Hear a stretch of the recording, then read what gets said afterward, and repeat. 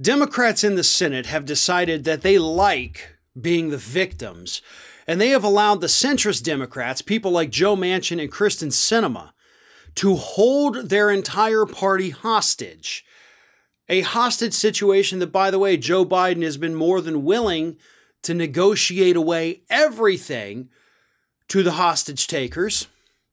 And now we have a COVID relief package in the Senate, uh, Senate, excuse me, that phases out relief checks uh, at a lower income level than the previous two rounds of stimulus checks, which means Democrats have now set themselves up for Republicans to go out there and tell the public, you got more stimulus money under Donald Trump, and more people got stimulus money under Donald Trump than they did under the Democrats.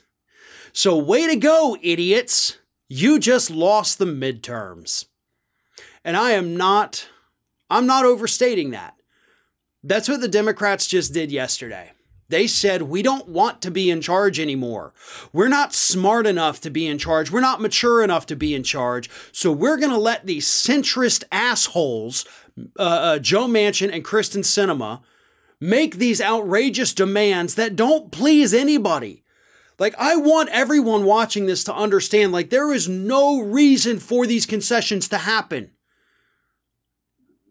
This COVID relief package has broad, overwhelming, bipartisan support out there in the public.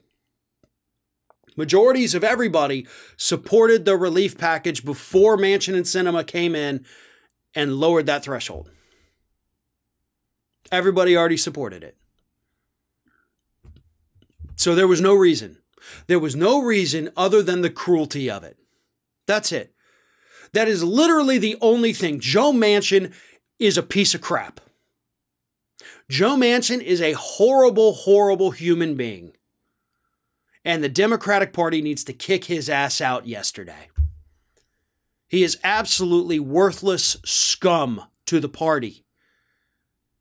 And they should no longer treat him as such. He should be stripped of his leadership positions in the Senate and then unceremoniously told to get the hell out.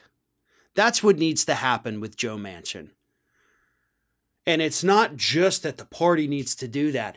It's that every other person who calls themselves a Democrat in this country needs to be calling for that as well. Joe Manchin is a stain on the Democratic Party. I would like to say the same about Kyrsten Sinema, but let's be honest, she has time. And I think this is mostly obviously Manchin's doing here. But the Democrats just lost the midterms, definitely lost the Senate, possibly lost themselves the House, which means two years of lame duck Joe Biden, where nothing at all gets done. And we're already going to have two years leading up to the midterms where nothing's going to get done. So, four years of complete inaction. And then what? Something worse than Trump? Another corporatist Democrat who doesn't get anything done for four years? Where does it end? We're just in this endless repetitive cycle.